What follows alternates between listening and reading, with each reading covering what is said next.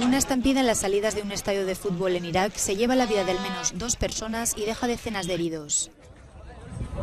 La tragedia se ha producido cuando miles de aficionados, muchos de ellos sin entradas, se acercaron al estadio de Basora, la principal ciudad del sur de Irak, con el fin de asistir a la final de la Copa del Golfo entre Irak y Omán, que se jugará este jueves por la tarde.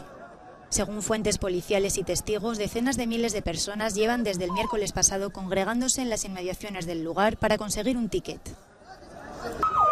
Durante 20 años, el país árabe tenía prohibido por la FIFA albergar partidos internacionales de fútbol por motivos de seguridad relacionados con la guerra de Irak.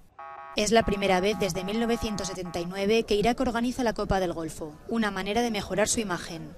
Sin embargo, las autoridades ya se han visto obligadas a pedir disculpas por la mala gestión administrativa que ha provocado el altercado en el estadio.